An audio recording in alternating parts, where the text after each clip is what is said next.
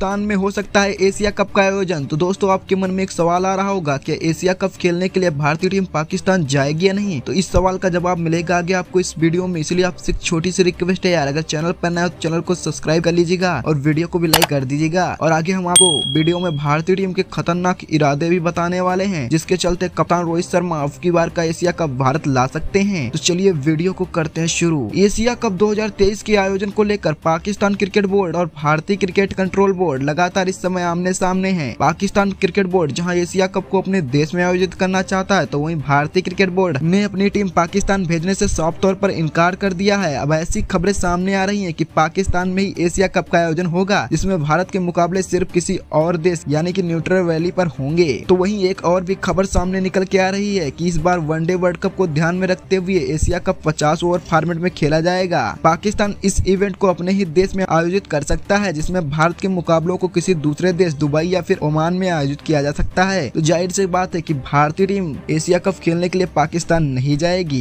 तो यही अगर बात करें अगर भारत और पाकिस्तान का मुकाबला होगा तो ये मुकाबला दूसरे देश में खेला जाएगा और एक दिलचस्प बात यह भी है अगर भारत और पाकिस्तान एशिया कप के फाइनल में पहुंचते हैं तो ये मुकाबला पाकिस्तान में न होकर बल्कि दुबई में खेला जाएगा तो ये पाकिस्तान के लिए बेहद बड़ा झटका लग सकता है तो दोस्तों आपकी क्या राय है कमेंट बॉक्स में आके जरूर बताइएगा